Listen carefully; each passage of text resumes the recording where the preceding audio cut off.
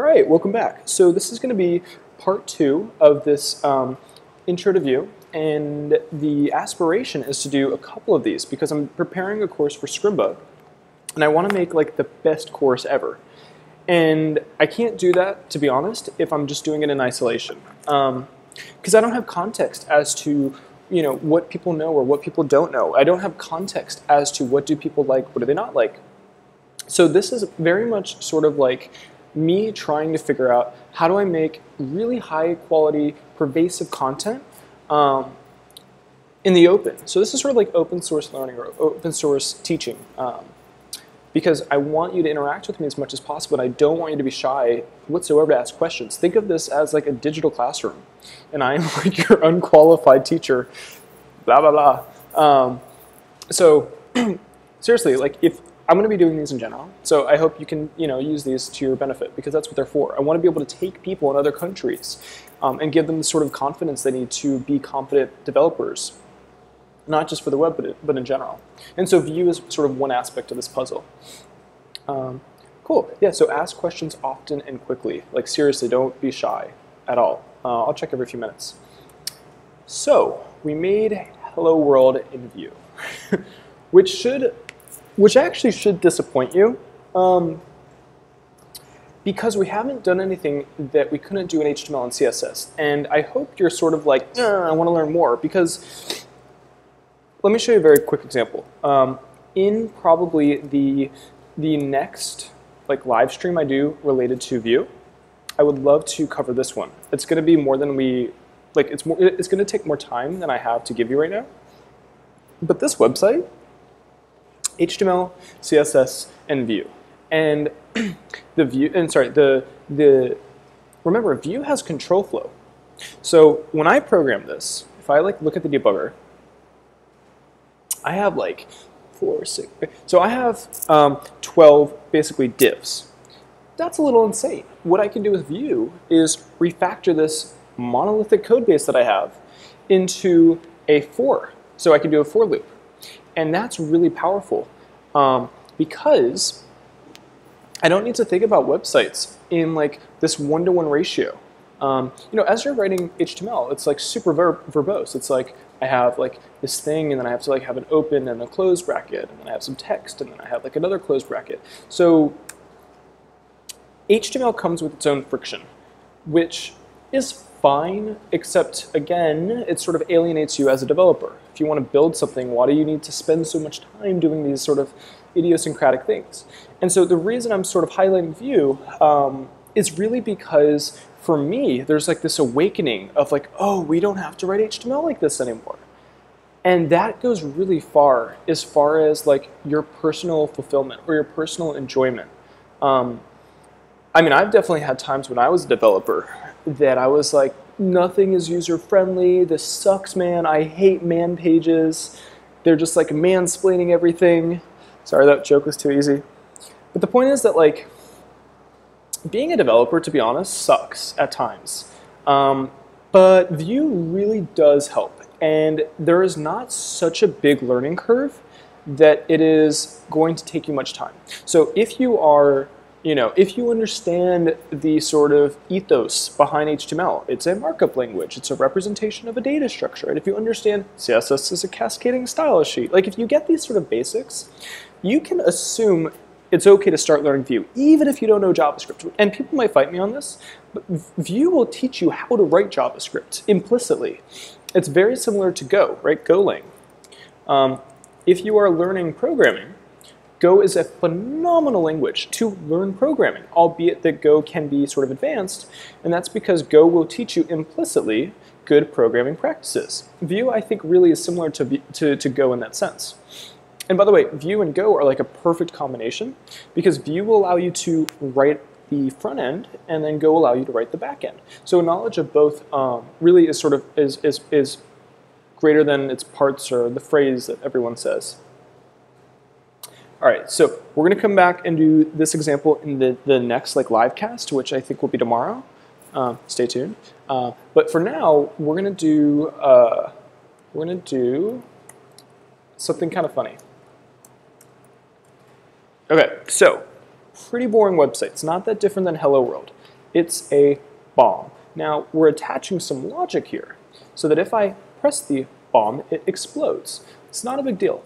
But um, the point is, we can take this further. So, for example, I can, I can do more here. Um, so the thing is, like when you use HTML or CSS, you start to think like HTML and CSS, and that's problematic because there are not enough like pseudo elements in CSS that you can make really rich interaction, um, rich like user experiences. So like, sorry, let me check questions. I'm being like a bit fast. Cool. Questions, ask them. So in um, in in in CSS, right? You're like you have like oh, I have like before, whatever that means. I have like after, cool, right? I have hover. And like it's fine, but it's really limiting you in terms of your potential. It's limiting um, how you think about sort of interactive code or user experience. And, and so Vue is going to sort of take us out of that like Stockholm syndrome and allow us to think about like experience and interaction much more sort of natively or fluently. So if you're like a little bit tired of like pseudo selectors or sorry pseudo elements in um, HTML or CSS, like this is like a really this lesson will be super important for you. Because right for here have a website not that different right? Turn on the debugger pretty simple. Uh, this is just like a span I think. That's why it has its own box think yeah and and effectively when we click it we're adding logic so that the background and then the emoji itself changes. Um, now, again, this is like kind of not the best example, but if you understand this, then uh, here, you can go to zaydek.com slash Schrodinger, like that, if you want to try this. Um, I didn't make this like cross-browser like compliant, so it's gonna look, if you're not on a Mac, it might look weird, but I'll show you here, and because this is encoded in a video, I don't need to worry about that right now. Um, I should start putting like the, the like the code online so you can just like open it up. Uh, let me check for questions. I'm studying assembly here, and this makes me crazy. So how can I help you? Just tell me. Um,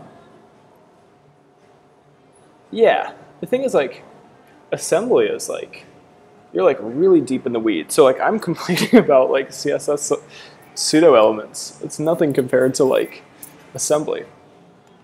Okay, so here is our website. Show, we're gonna we're gonna make this at least uh, enough to understand it. And the significance of this is okay. So I click the box, the cats dot dot dot. It's sort of weird.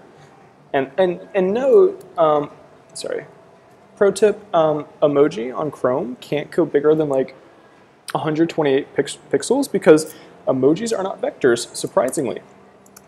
But if you use uh, Safari, emojis can get bigger than 128 pixels. So if you like need to take a screenshot of your website and the and the emoji's like disappearing, you can use Safari, possibly Firefox, to get the emoji. Okay, so click the box, the cats dot dot dot. So not a lot of options here. Note that the box is shaking, so sort of right shaking. That's just a CSS animation. It's super easy to do it. It's not like JavaScript, blah, blah, blah, right? It's, we're gonna use JavaScript sort of as minimalistically as possible here. Click the box. The cat's alive. It's so sweet. We click it again, cat, the cat's dead. Um, and one of the nice things about this, we have sort of, we have an array of cats effectively that we can get. We're not going to necessarily, we can, but we're not necessarily going to get the, the same cat every time. But dead cats are dead cats, so there's only so many. So this is sort of interesting, right? Because it's not as simple as hello world, but if we were to program this in vanilla HTML or CSS, at the same time, this would be like sort of a pain because let's think about this. We can do all this without JavaScript, but clicking this right? We could like do a hover event, but then it would activate. We could do like a checkbox, which would be very clever. Um, and maybe, but like that's the thing, like if you like only think about website design in HTML and CSS, um, you are like putting yourself in a straitjacket in terms of like what you can do and in terms of like your personal creativity, which again, we're not trying to get alienated as developers. Um, so, so, so here's the point. This is really simple. So let, let's look at the, the code for the bomb example. And then once you, oops, once you understand this, then the next one is really just like a few more lines of code. Okay, so it's, it's not that many lines of code that I feel confident in sort of showing you. Um, so yeah, this is G. Like a lot of like practice over here. Okay, so again, I have a second instance of the app, and that's just so that we have like a cool debugger, right? So before I even show you the code, take a look. So we just came from hello world, sorry, hello Vue, and if we scroll down, we see hello who, right? Who was inside of our like printf, right? It wasn't printf, but it was similar. Here, you can probably tell our Vue app has it's it has an object inside of it, and that object has a data data object, and then that data object has a property, and that property's name is emoji, right? So just knowing that, here we can make some inferences. I've initialized my app. I've given it options. I am targeting, in this case I'm using dot app, could use a ID here, but just changing it up. I have my app right here, so that's where I'm binding our, our, our Vue app to our HTML. Inside of it, I have a property called emoji, which has an emoji, and now I have something new. So, remember, variables and um, functions. If you understand a variable and a function, which I'm sure you do, then you understand uh, properties and methods because all properties and methods are are uh, just variables and functions that are attached to some other um, to other to some other thing in memory, which in, in JavaScript would be an object. But methods and properties are not limited to front end. You know, in backend you have methods and properties, and mm, pretty much every programming language that people use, you're going to have methods and properties, and they are just functions and variables. So, so, so that's the point. So we don't choose the name EL, we don't choose the name data, and we don't choose the name methods. And the thing is, like, they could have said like element, and that actually this might work. I don't actually know. And this this could have been named like variables, and then this could have been named properties.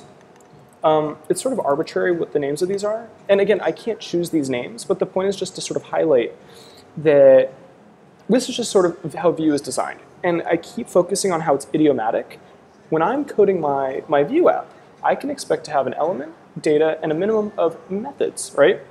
If I look at your Vue app, I, I can expect that sort of same design. And that goes very far in terms of making your code not um, readable, I'm not talking about the actual like code itself. I'm talking about the structure of your code, the code of your code, right? That stuff is so important because you know, you shouldn't necessarily always have to learn some sort of paradigm every time you look at somebody's code.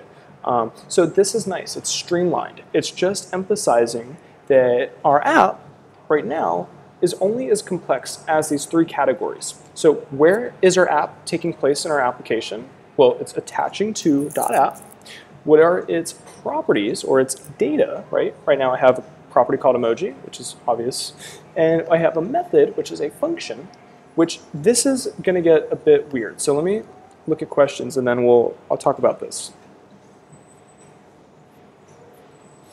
Okay, okay. Don't worry about the English. It's not, it's okay. If I'm speaking fast, you can let me know. So again, this is for you, not necessarily for, well, it's for me, it's for you too. Okay, so.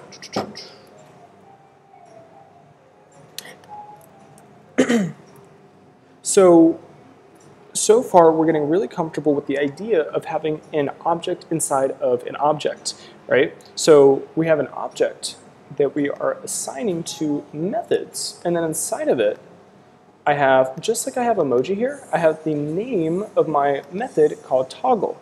And toggle is a function. So the thing is like, this is going to get overwhelming, or it, I mean, it is already overwhelming, because we have like, if I bring this over here, look at how many like indents I already have, right? I have one indent, two indents, and then I'm all the way up to three indents. So the point is that just because you have an object doesn't mean you can't put something like a function inside of it, right? Earlier we were talking about var obj equals like an object. Well, you can do like that function yo equal, oops, to do that syntax, and I'd say like function, um, and then like return yo mama. Sorry. So um, you might be wondering like what what is going on here, right? Because we have like function thing, right? And if we get rid of the name of the function, we, we get this. We don't actually get that. So I think it'll, I mean, I don't think white space is going to like make or break your app, but I just want to point out when you look at Vue code, more time, more more likely than not, you're going to see function written like this, which for me was like really weird to see that because it's like, it's it's it just it, it's it's different enough that I just want to like like uh, highlight it, you know, why it looks the way that it does. Now again, I am not going to assume that you, you, you know very much programming right now. I assume that you know some HTML, some CSS, right? Enough that I, like you won't freak out if you see like a div or a span. But I'm not assuming you know much more than that, um, just for what it's worth. Uh, okay, let me check questions. How are we doing? Okay, it's good so far. So, okay, we have a method named toggle, and then toggle is attached to a function, right? Now this, let me just explain what this is. If we want to manipulate some of our data, right? If I want to manipulate the emoji property inside of our Vue instance or our app, right? Then if I say emoji, uh, JavaScript is thinking I'm talking about like a global variable over here which I'm not. I need to talk about a very specific emoji, which is, which is part of our, our app's instance. So in this case, we need to indicate that we're talking about a local property and not a global variable. Just going to write that down. Oops. This emoji, local property, not global variable, because this will it's just not intuitive. Um, the other thing is that like if you're like really into like ES6, you're like you're like on the ES6 train. Um, you're like, no, dude, I'm not gonna use like that syntax. Like I'm much more enlightened than that. I'm gonna like, sorry, I'm, I'm gonna do like I don't even know the syntax. I'm gonna use arrow functions, right? Um, arrow functions won't work here because arrow functions are effectively anonymous functions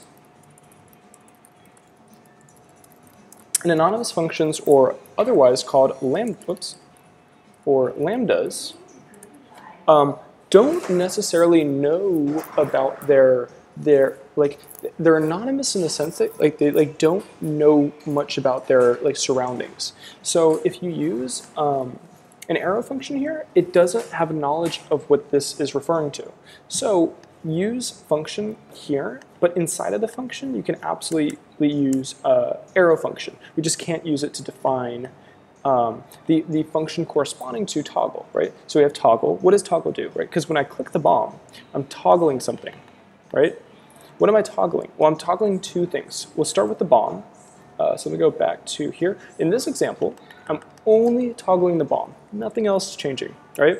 And that's because we're telling this emoji, this is a weird way of writing it. You could write this many, many different ways. This is just sort of a one-liner. Um, we're saying, hey, if this emoji, let me put this like that, if this emoji evaluates to bomb, like if it's true, right? If this is a bomb, then boom. But if it's not a bomb, effectively just like do nothing. So this could have been written as an if statement. I could have said, if this emoji is equal to bomb, then we can be like explode, or I can like, instead I can be like, uh, this emoji equals explode, but like the emoji version of it, like that, or whatever. Um, this is just sort of like, I'm making this syntax up, but I think you get the significance of it. So that is equivalent in this case. Um, this is sort of another option.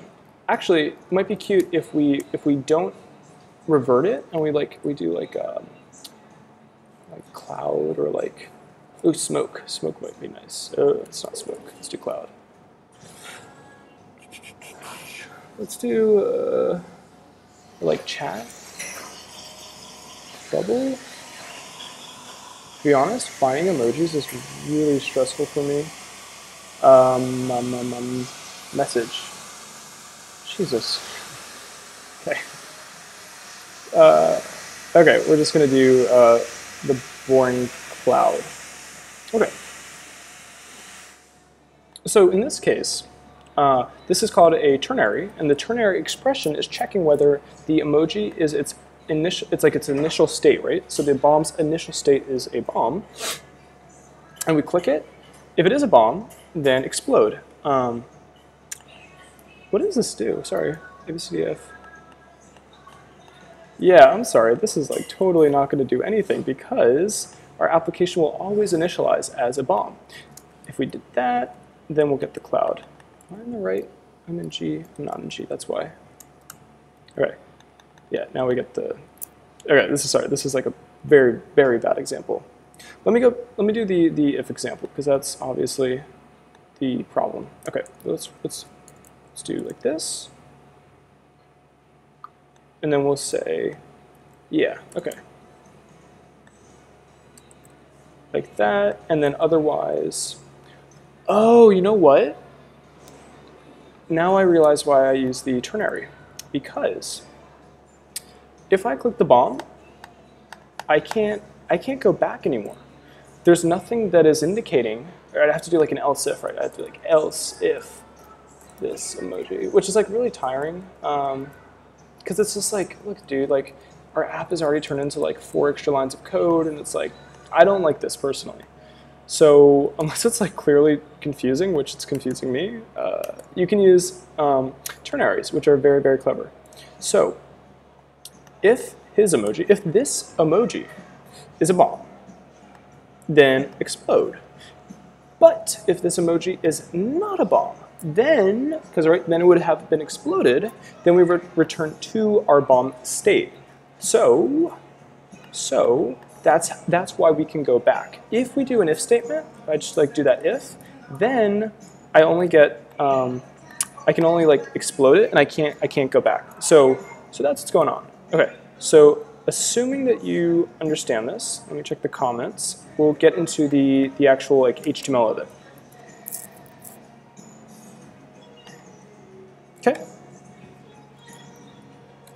So what's the HTML behind this look like, right? Because that's pretty important.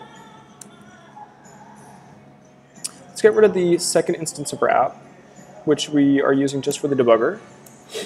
Okay, let's like let's take it. Let's let's look at this. We have a div, and we have some text, which could be in a paragraph. It's fine. Um, this is like a little bit hard, so like let's just imagine this in the simplest terms possible. So we have like it's a dot dot dot, right? And then, oh, okay, right, so we have a span, dot dot dot, and then, oh, you know what? Sorry, this was, um, this was just like me making it pixel perfect. That is totally not necessary. So this is effectively the extent to the complexity of our app, right? So all we need to do, let me just like comment all this out. So all we need to do is sort of like, this is terribly unreadable.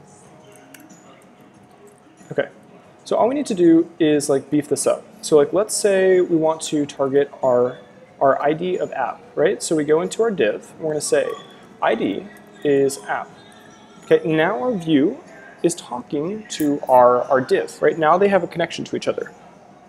And then, okay, that's fine. And then span, okay, cool. So you can probably figure this out. What do we put inside of here?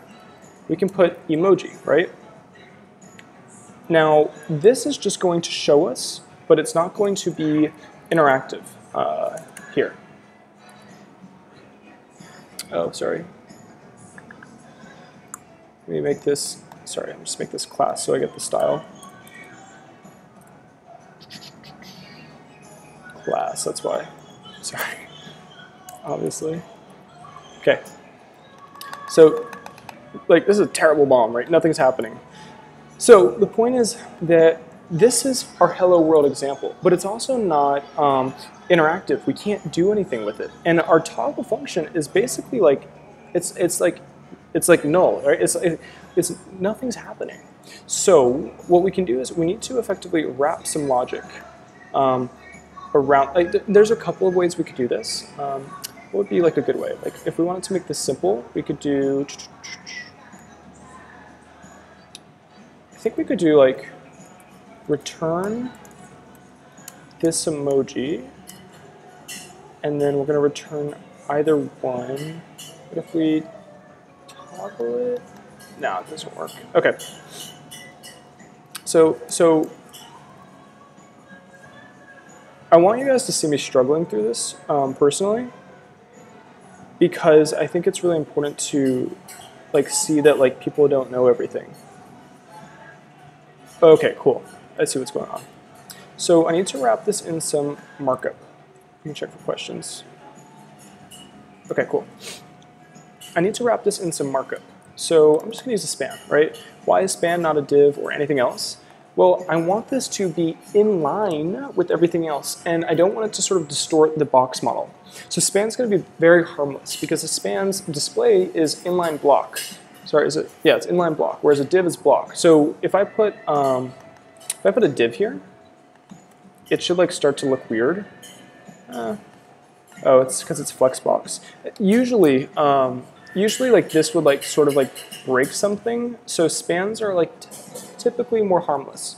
Um, and for what it's worth, you can think of, like we've been talking about like anonymous functions or lam lambdas. Anonymous is like a big thing in programming, right? So like if you need an anonymous block or you need an anonymous uh, inline block, right, for CSS or HTML, you would use for a anonymous block, I'm sure as you can guess, a div, whereas for an anonymous inline, for an anonymous inline block, you would use a span. So think of these as anonymous like elements that you can use that are not descriptive other than their default display value. Okay, so that's why we're using a div to sort of be the box for our app.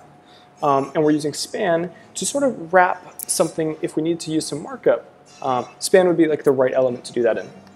Okay, so now we need to do something special. We've talked about binding, but that's called, um, it's one-way binding, right? So this can't talk to, it can't like do anything. It's like on an island. Um, so what we need to do is like have some way to get to the island.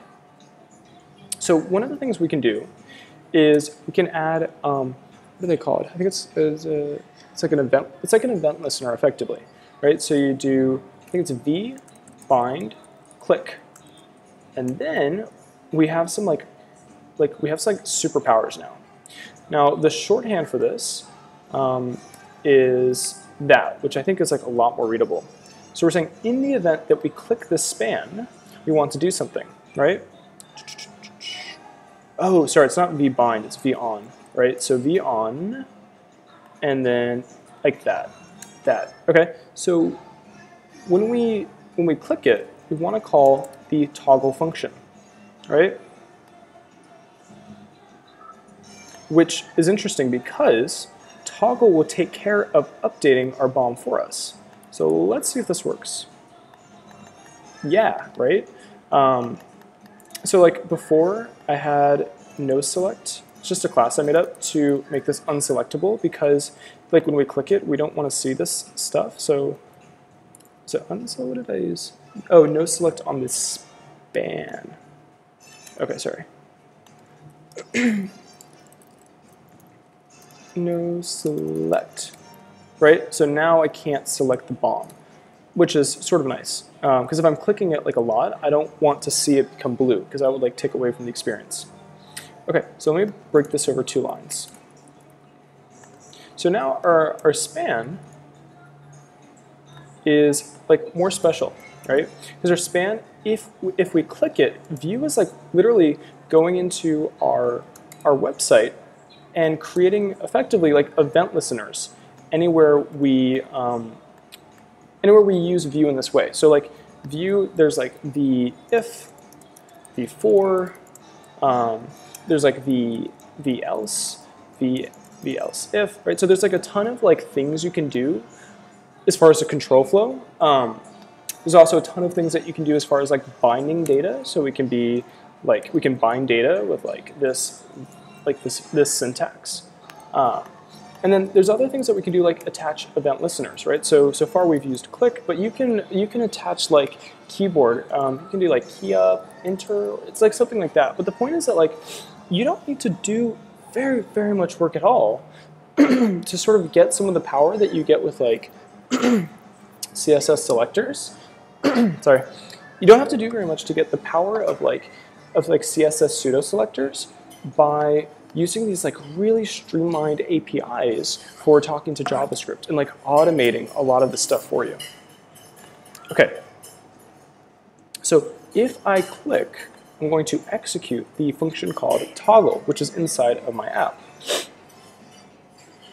Right here, okay? And, and, and now it's working. So, so before, right, what was happening? Our background was becoming red.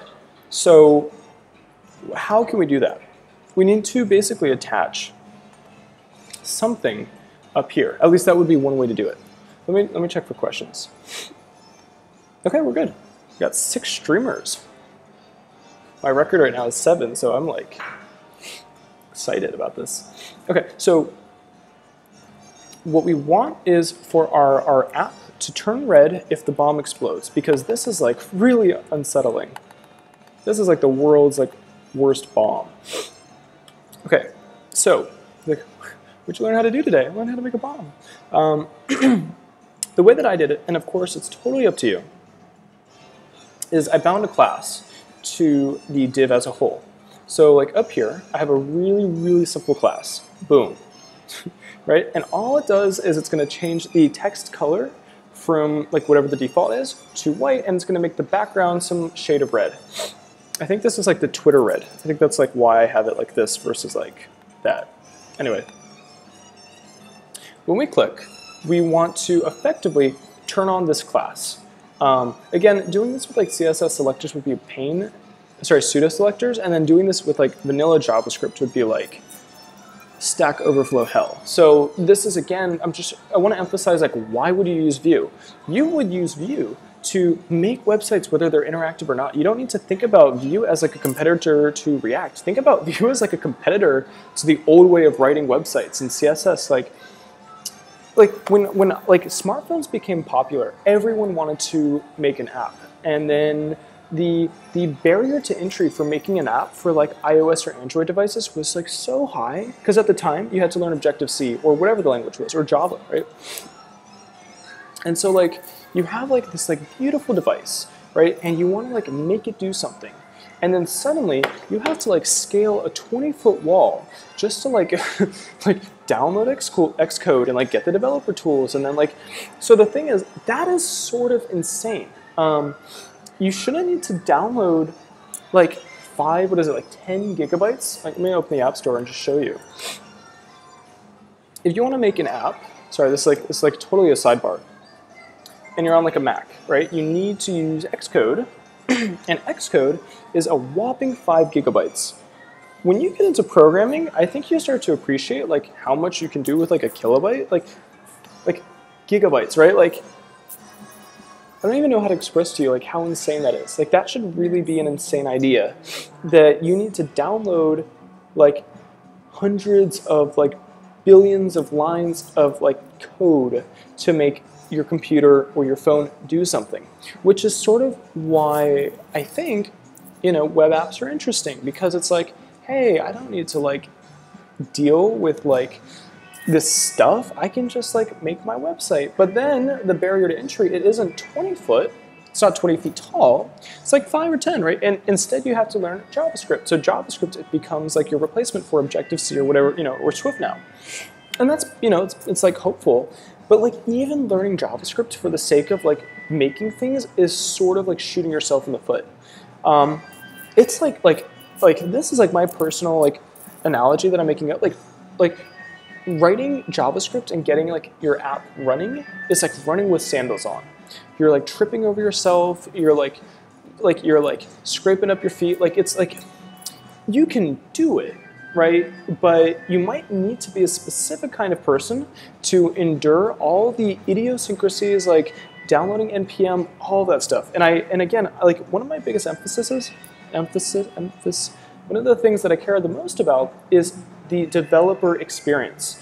So we talk about like user interface and user experience all the time. And that's fine, except there's also a developer interface and a developer experience. And the developer, right, they'll call it DI and DU, which are like really not the best. Um, the developer interface and the developer, oh wait, developer experience is DE. Um, like DUX for developer user experience the, the ducks of building a web app. It's terrible. Think about it, right?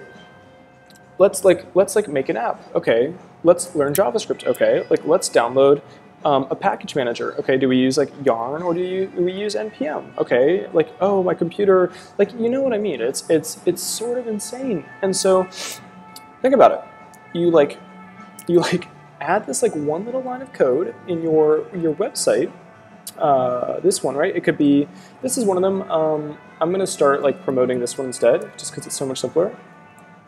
And I want to like make myself like famous for like code clean cleanliness. Let me make sure that's right. All right, okay. So you add this one script tag to your file. Um, I have it at the top, but that shouldn't matter. I can put it right here you have this like one line of code, and think about this. Your app goes from like running in sandals, um, or like flip-flops, or like whatever the, the metaphor is, to like rollerblades. Like that would be how I would want you to think about Vue. You like, you just like throw on some rollerblades and you're, or like skateboard, or like a longboard, or like, what, like whatever it is for you. That's how you should think about Vue. And the difference between like React or Angular, actually I won't speak to Angular because I, I, haven't used it enough, but the difference like versus React is like, if you use React, that's fine. I'm not trying to like make you feel bad about it. I just want to point out the difference, which is because of the build process, um, you have to like, you have to do something every time you want to do something else. So it's like every time, it's like, yeah, it's like every time you want to go drive. Imagine every time you got in your car, you had to go to the gas station too. You could never just go somewhere. You had to do something in order to do something else, which again is sort of like scaling this like 10 or 20 foot wall. The more things that we can do to remove that sort of process, that improves the quality of both the developer and, and hopefully the user experience for like millions, if not more people. So don't take this stuff lightly. Um, don't take the, the effectiveness of developer interface or developer experience like lightly. Like your time matters and, and this stuff matters too. Sorry, it's like a total rant. what I'm trying to do is like paint the pictures, the background color. Okay, so we are going to basically there there okay so we're going to do we're going to bind some logic so we're going to say v bind in this case right so so we've seen like v on for like click events like click. Here we're going to do v bind. And this v syntax should get really similar, uh, should get really comfortable for you for now because you like you've seen like v if, v for, etc. So here we're going to use v bind. And specifically, so we're going to use this like DSL style. Okay, we're going to say v bind class. So this is like very similar to class, except this is like I can I can I can make this like a logical expression, right? This is basically like on or off, right? It's like binary, but this is like a mission, like it's like a it's like um, a control panel. Like I have an actual interface to to to do this. Now, I've shown you like this vbind is the same. This is just a shorthand. So I'm an advocate for for shorthands. If we do like if we do v on click that can be reduced to click. If I do um, vbind, oops, v, vbind class, that can be uh, reduced to class, right? So these are just shorthands. Okay, so I'm going to say I'm gonna I'm gonna activate a class, right? And I know I, I have a boom class ready, so I just need to turn it on. Effectively, yeah. So what I'm doing is I'm checking. I'm saying, hey, yeah. So I, I wrap this in here, and now it's like that DSL we were talking about. So now I can say, hey, if we like we use this expression. Now this is a DSL, so it's actually even more concise. Um, so instead I can say like just emoji, right? So I'm saying, oh, it's the class, it's not the emoji. Oh, this is so cool. Okay, so I'm binding the class of boom to whether or not the emoji has exploded, right? So this is pretty this is pretty cool. Think about this. We're we're going to attach the, the class boom which is what this is saying, I want you to activate boom if our emoji is, uh, like if it's, like if it's exploded, right? That's it, right? So like this is like three or four lines of code. This is like not one line of code. And now our app is like, as simple as it is, it's like that much more like, like, like it's like that much more substantive. Um, and again, there like there's a lot of different ways you could write this. I just think that um, this is like a good way for demonstration purposes. So when you hear people talking about reactive, it's like uh, it doesn't mean very much. Let me check for questions. How often do I stream? Hi. Okay, great. I love the questions. So don't feel shut out. To be honest, so the question is, um, how often do I stream? And what is a DSL? Um, I'm honestly trying to get into the habit of streaming twice a day for like maybe an hour or less, maybe more each time, because I want to make this a habit for me. You know, just like brushing my teeth or like taking a shower. I want, um, I want to to share what it feels like to be a developer and to learn like really valuable um, tools. I want to make that like a common practice because if I'm not, I feel like I'm not helping people.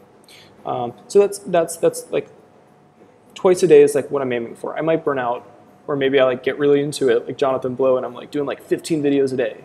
We'll see. Anyway, I'm gonna put everything on YouTube, put a nice thumbnail, so it's like very clickable. Um, yeah, so I hope that that that, that you like that. Um, okay, so a DSL. Let me just like review this real quick. Uh, let me let me ask Google. Hey Google, what is a DSL? Ah, a DSL is a camera well, what? right? Oh, I'm sorry, I said DSLR. What is a DSL? Still a camera. Uh, uh, let's do, oh, what is a DSL? Programming. So DSL is what's called a domain-specific language.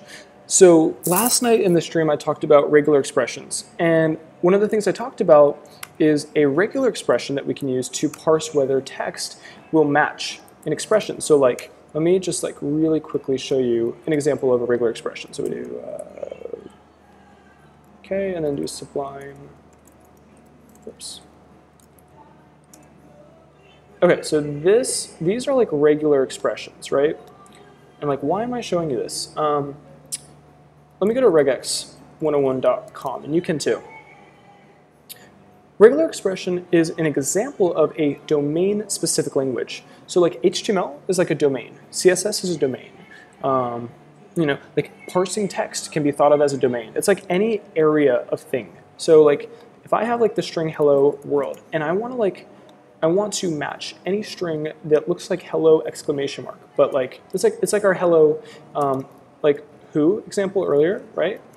I can't do this with a regex, but I can I can say like, uh, like anything. Oops, yeah, I can be like, give me anything.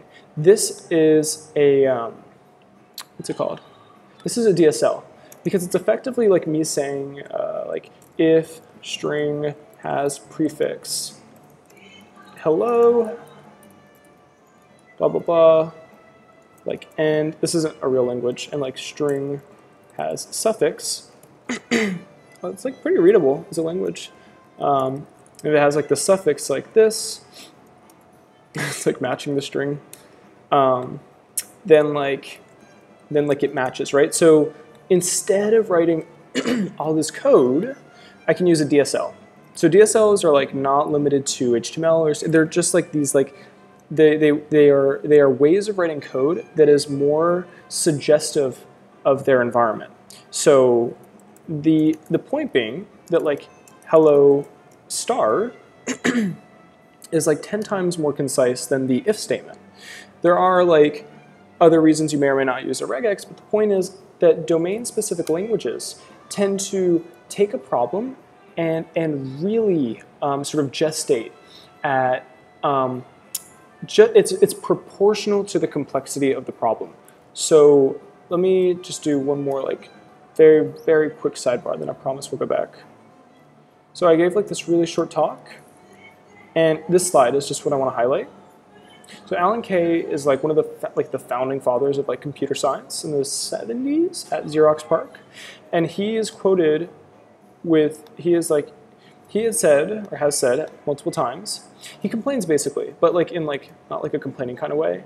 Um, that that like is it really that complex or did we make it complicated? There are some like awesome YouTube video videos of him talking about this. But the point is that, yes, exactly, it's like SQL. So SQL is a domain-specific language. Sorry, I didn't say that earlier. SQL is a domain-specific language. Regular expressions are a domain-specific language. Vue uses a kind of a DSL to make JavaScript, writing JavaScript within your markup um, much more succinct and, and like manageable. So so like DSL, you can't like write an app per se in a DSL. It's not like a general programming language, right? Like part of the reason Python is such a popular language, even it, you know, even how with the compromises that it has, it's because it's a general language. A domain-specific language is on the other end of the spectrum. It's much more compact, it's much more focused, but at the same time, it's much better at a specific job. So that's what a DSL is. Um, so yeah, I hope that that helps with the question. So anyway, this is, um, this is really the extent to which you can make an app, a web app, that will be compliant across all the way up to like Internet Explorer 9, and like, like, like, look at the complexity here. Like there's like, this is so few lines of code that this is like a really amazing time to start thinking about building web apps because you have Flexbox, which will help you with the positioning of elements. You have Grid, which will help you with the actual, the overall sort of design of your, your websites, which means we don't have to use like hacks anymore. And then you have the addition of things like Vue, which means you can make programming the front end of your website's design much more intuitive um, and powerful. And then if like as you start start to get it more advanced, you can use Go or Golang to actually program the backend. So like with knowledge of just like HTML, CSS, Vue, and Golang, like Vue is like also being JavaScript, um, think about what you can do. You can like build and ship your own startups very fast, very quickly, and very like the most important thing is it's maintainable. Um, like anyone who is like a competent Vue developer I can give them this code. I mean, like they may re refactor a few things, they may like change a few things, but the point is like there is like an idiomatic like the, the code is idiomatic enough that I don't need to be like in the bushes about like what's going on. It's very like readable for me as a developer. Um, and, and, again, that sort of speaks to like the developer experience. The you're welcome. The developer experience, the developer uh, interface. Okay, so the, the thing is like I'm we're not going to build um, don't, I don't think we'll have time to build the, the cat thing, but I'll show you the code because, sorry, there's like way too much going on here. I'll show you the cat thing because now that you're like sort of acclimated with um, Vue, I think you can read the code now. I'm very confident you can read the code now. Uh, let's see if I can find it.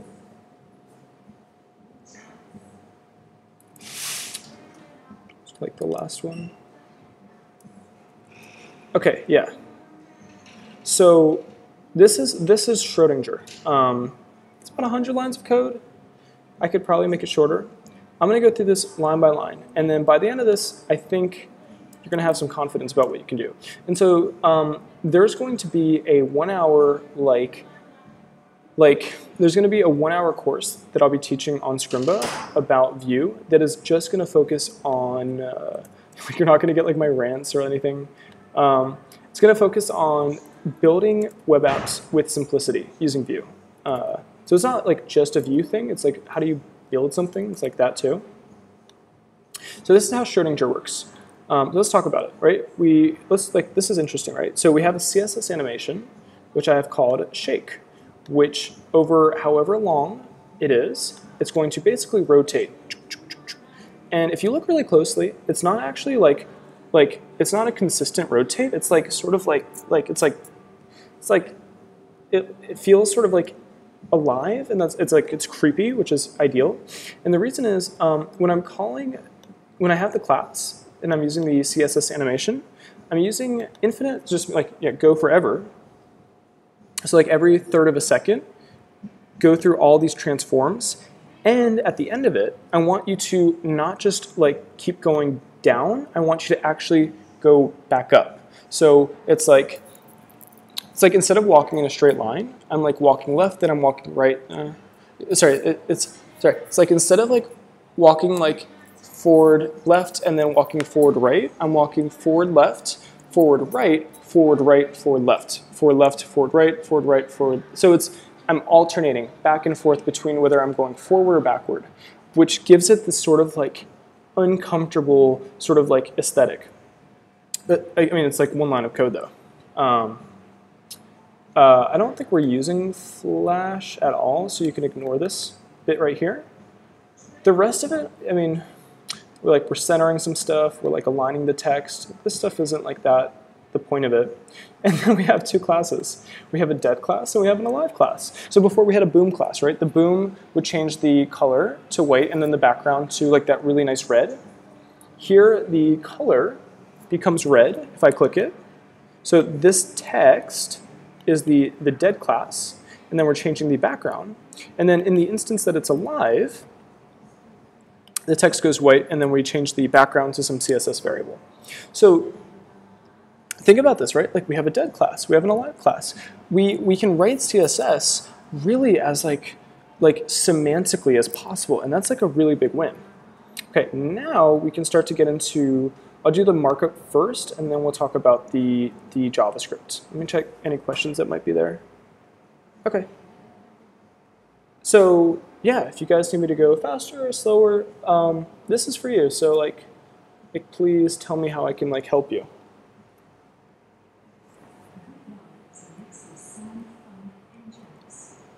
Okay, if there aren't any questions, I think we can keep going. Okay. Okay, so so a lot of this isn't technically necessary. Like I don't need this like unselectable class. Um, let's like, okay, so we have a div.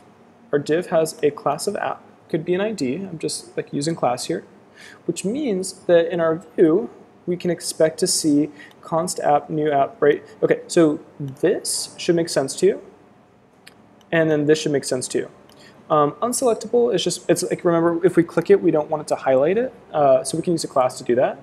I'm making this full screen and then I'm centering it. So this is more or less uh, simple. And then here, I'm just lazy. So I'm like setting a, a width. Okay, so really the magic is this stuff, right? So remember, class, the, the shorthand could be that, that's identical. And then this is identical to that. Okay, so let's get into here. We have a property called contents, which has the package. So at the start of our app, the state is just this box. So that's displaying effectively, right? Remember we did like hello, whoops, like who? Remember? Here, we're effectively doing like hello, oops, contents. So that's the, I mean, the fact that it's called contents isn't significant, but that's the point. Uh, okay, and then here instead, right, so far we've worked with element and a data, element and data and one method, and here we have element, data, and methods. So remember, we're starting to think about our CSS and our methods in terms of states. And states is sort of like, again, it's like a weird way to describe something. It just means it's, it's like, it's, a state is like some point in our app. So in our app, in, in like the bomb app, right, we have two states. We have like the did it explode, like it didn't explode and it did explode, right? We have two states. Here we have, um, so far we have like three, three-ish states, right? The box is closed, the cat is dead, or, uh, all right, so we're setting this content to close, box, dead, Schrodinger. Okay, so, okay, so this should make sense, right? We're using a ternary, um, I didn't explain this before, ternary is a way to do an if statement really concisely. So instead of like this, you can do like, like this, um, do this, or that. These two, so be like, um, if, here, like if bool value, so this would be bool value, and then we'll like make this a function for emphasis, um, do that, right? I just don't want to like lose people just because I'm using a ternary. We'll be finished in like, um, like five minutes, just so just so you guys know. Check questions. Okay, cool. So a ternary is a very compact way of writing an expression like this, right? Instead, we're doing like this. And so we're saying we have a function called Schrodinger, and when we call the function, what happens is if the box is basically the initial state, right? If it's the box, then we're either going to choose if it's dead or alive. Okay, so we're, we're picking either that it's dead or it's one of the cats. So right, we have like we have different cats. It's not the same cat. So like like like, like let's say you said like this contents equals pick dead or alive, right? That's basically what this line of code is doing, right? We're saying set this to be dead or alive. But similarly, if this content does not equal the box, right? Meaning if this content is dead or alive, then we want to revert back to the initial state. So that's what this line of code is doing. So Schrodinger is deciding, it's like, it's like the quantum state. It's, it's deciding whether or not our cat is dead or alive, right? And then we have, um, I don't actually remember what closed and dead does closed and dead. Those are classes. Oh, that's so cool. Okay, we're going to come back to this. Just ignore these two lines for now. So all we care about is Schrodinger. Okay, so unless there are questions, what does the, oh, that is a really good question. What does the dot dot dot, yeah, sorry, I skipped over that. Thank you. Okay, so let's say you have like a very, let me, let me, sorry, let me back this up. Okay. Can you imagine me teaching all of this and like more advanced examples in an hour? Uh, okay, so we do like, we have var cats equals this like thing, right? Then I think we sort of understand that. We have an array of strings, and each string is like one of these like beautiful cats, right? so we have a collection, we have like an array of different cats, and we don't want all of them, and we don't want like we don't want like just one cat every time because that'd be pretty boring. We want to have a different cat every time. Or like, we want to have a random, not a different cat, but a random cat every time. Um, right? Like sometimes the cat's happy to see us, sometimes it's not happy. so the way that I set this up, of course, there's other ways to do this. So I have an array of different cats, basically cat moods. Um, another word for this variable that might be better would be like moods, right? And cats is fine. And I have this really clever function that I wrote called pick. So it's like I want to pick if the cat is dead or alive. And this needs to return um, one of the two. So it needs to either return is it dead or it needs to return is it alive. And additionally, if it's alive means one of the different cats. Oh my god, I deleted, shit, sorry. I deleted like the cats from the program. Cool. So so we need to choose whether it's dead or we need to select one of the, the cats that, like one of the, the possible options, right? So, so this is where the dot dot dot uh, syntax comes from. Um, I believe if you search for variadic, variadic, like yeah, arguments. this is going to be like the technical information related to it. So we have a function that takes a list, which takes a variadic parameter, which means basically that we can send it a single cat as the argument. We can be like doop, or we can send it an array. So variadic um, arguments are very flexible. Uh, it just means, hey, I can, I can pass you one individual argument or I can pass you an array of arguments. So it's very flexible. Um, and then I'm effectively giving back some random index of the available indices, which is what this is doing. I'm saying like, if, this array has one, two, three, four, five, six, seven, eight, nine. So I'm saying this array has nine cats, which means we have indices 0 through 8, not 9 available to us. This function will pick one of the, the arrays, like, it'll pick basically 0 through 8 in this case. Okay, so we're calling the function pick, which is like pick dead or alive. And we're going to either pick dead, which is only which only has like one um, like one kind of dead, or if it's alive, there's many kinds of alive, right? So we have a pick inside of a pick, which is very, very clever because we only have to use the same function. We don't have to write like a special function every time. So here, first, first before any of this happens, I'm picking one of the like the different cat states, right? So I pick one of the cats, and then that cat is ready to go. So once this evaluates, I can just replace this with one of these, right? So this evaluates, I get this, and then I just need to pick whether the cat is dead or alive. So then it goes back, it calls it, and it's like, hey, now I just need to pick between 0 and 1. I don't need to pick between 0 and 8, which is a, it's just, it's like a, we can use the same function for different purposes. Um, again, there's other ways to write this, but that's why we have cats here. I need to basically like send this array as individual arguments. So what's happening is instead of sending it the array like this, like, oh, that's about example, like cat1, instead of this, I'm actually expanding it to this. So that's what the dot dot dot is doing. It's taking an array and it's turning it into a sequence of like normal um, arguments. Uh, and, and most programming languages support variadic arguments in some form or another. So it's, it's just like it's a good thing to know um, in general because they can be very, very, very useful. Okay, so we're picking dead or one of the alive states, and that's really like the whole logic behind our program. This is really just for the CSS. Um, so this is the last part, right? We, we, when we click the cat, sorry, the box, the box is our contents. When we click the box, we're going to invoke Schrodinger, which will set contents for us, right?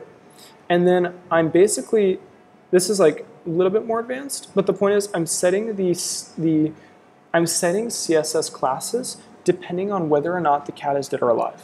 So I don't care which version of the, the alive cat I'm getting back. I just care, hey, is the cat alive or is the cat dead? And if it is, um, then I can assign one of these classes, right? So that's really all that's going on. Um, so Vue is like really powerful. Now, this is like a little bit more advanced than the stuff we've been doing, but the point is, it, it's it's it's like navigable. Like it's um, it's like there's like clearly a line of like there's like um, it's like we're walking up a hill, right? It, like the complexity is a linear. It's not like the, we, it's not like we have like this exponential complexity. We we can learn and sort of expect the learning curve to just increase a little bit, but not too much at a time. And this is really the sort of the tip of what Vue can do. So so like be inspired, but also like be excited rather that there's like this is still like like this is one of three screencasts, and like if each one's like an hour minimum, um, there's a lot more that we can cover. So just to sort of give you like a sneak peek, like we're going to do more with uh, components, which is like another exciting way that you can write HTML. Um, and we're also going to work more with like the v-if, the v-for and stuff. So you can see how you can refactor even non-interactive websites to be like like a fraction of what they would be if you had to like code out every single like paragraph or whatever yourself. Like okay, so the question was, um, could you not do pick cats? Um, I Uh, so I, I, I don't think so because if you think about it, it's a good question. So the question was, can I just like, why can't I just like use cats? I have to do dot dot dot cats, right? It's a good question. Let me show you what would happen. I, I think what would happen.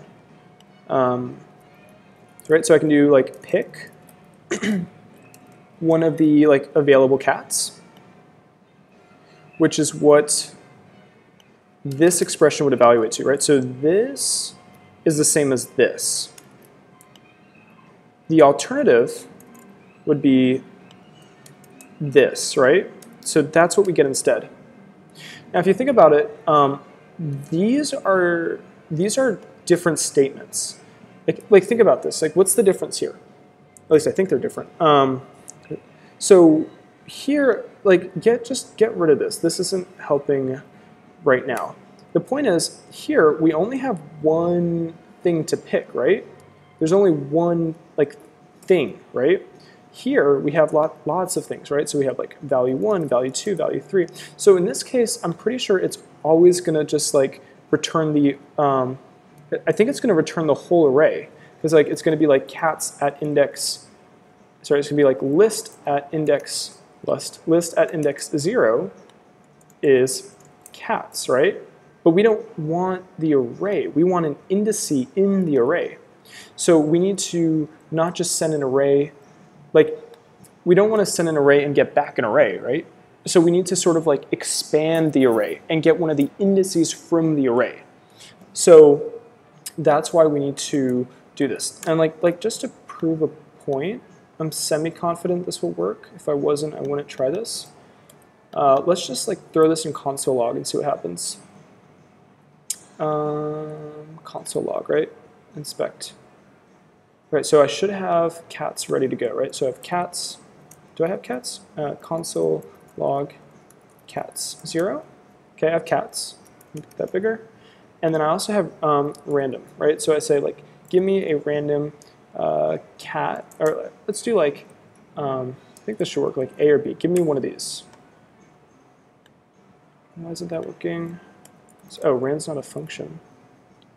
Oh, it's pick, sorry. Pick. So we do like A, oops, A or B. Okay, so what happens if we do this? Yeah, so this is the problem. We're going to get the whole array back. We're not going to get an indice from the array. Now, alternatively, you might do like this, right? You might like say like C over like uh, CD, right? In this case, you're going to get one of these two different arrays back. Um, at least you should. I'm not saying C yeah, I am. Okay. So the difference is whether we're returning an array or we're returning a value within the array. Um, so yeah, so when we use the, the dot syntax, uh, like, right, if I, if I didn't want that, instead I wanted A or B, then I can use this variadic thing to sort of, like, basically, I'm, I'm, I'm doing this for free, basically, right? Um, so this will convert your argument from a array to a like a, a, a um, series of values. I hope that helps. Yeah. Okay. So that's it for for this live cast. Um, are there any final questions before we wrap up? More than welcome. I'm like living with this stuff, and I like need to tell someone everything I'm learning. So this is a great opportunity for me.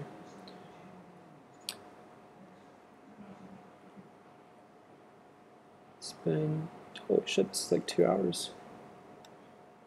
Okay, uh, if there's no more questions, I'm going to go ahead and close this.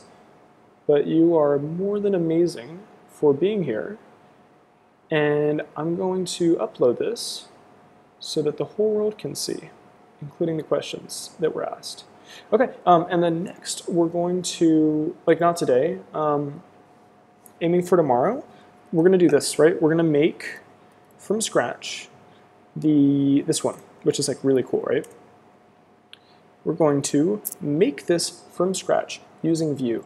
And the thing is like this is much easier than I think you might perceive because it's like beautiful and there's like soft shadows. The reality is is this is like so much more simpler than you can imagine. Not like like trying to offend you or anything. It's just that Vue because the, Vue is like really like a jetpack, right?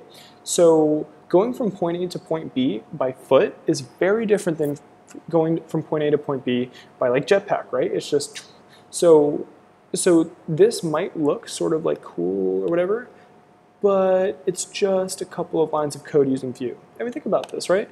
We have like some click event and it's changing the, the background and we have like a CSS animation or like a hover event and the rest is like just like HTML and CSS, right? This is the debugger. Um, so, so yeah, think of like you can make beautiful interactive web apps with ease using Vue, and that's why I'm advocating for it. And I also need help like designing this course because like there's all this amazing stuff you can do with Vue, and I like I, I want to convince convince people of the significance um, of the time that we're living in with Vue and Go and and uh, Vue Go, uh, Grid, Flexbox. That's a big deal to have these like four tools in your tool belt. You can do things that you know took entire teams a decade or even five years ago. So yeah, if there's no final questions, um, if there are, ask them. If not, I'll just wait a couple seconds for them to, to come in. Otherwise, we'll wrap this up and I'll, I'll put it on YouTube.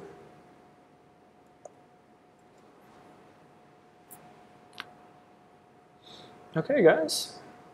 I think there aren't any questions.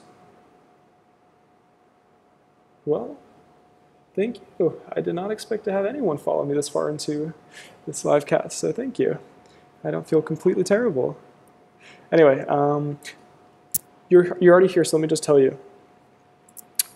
It's, so I was thinking in like six, so six to five, so it's 1.30, which would be 6 would be 7. I cannot do math right now. It's 1.30, and I wanted to say 6.5. In 6.5 hours, um, I was thinking of doing another live cast, not related to Vue, but related to animating, animating emoji on the command line um, which I don't think will be very long. I think it'll be like 30 minutes or something by comparison. But I like, again, if you, if you are getting into development and you need some inspiration or you need someone to sort of just explain things to you, like what is a DSL and like, like use me, um, use me for sure. So we'll do another live cast tonight in a couple hours and I'll put, put it on YouTube similarly. And, and then we're going to do another Vue tomorrow, probably same time tomorrow, um, if you want to get into the habit of like opening Twitch um, again, this would be the the advanced like color picker with the interaction and everything. Um, and if like and like hopefully the day after we'll do like the third and final Vue thing. We'll see. Anyway, thank you more than more than I can express for being here and and listening to me. Um, it's a privilege. Seriously, it really is a privilege. All right, I'll be on Twitter in the meantime and reach out to me if you have questions. You don't need to like you can just ask me questions in general. It's no problem. Anyway, thank you for being here.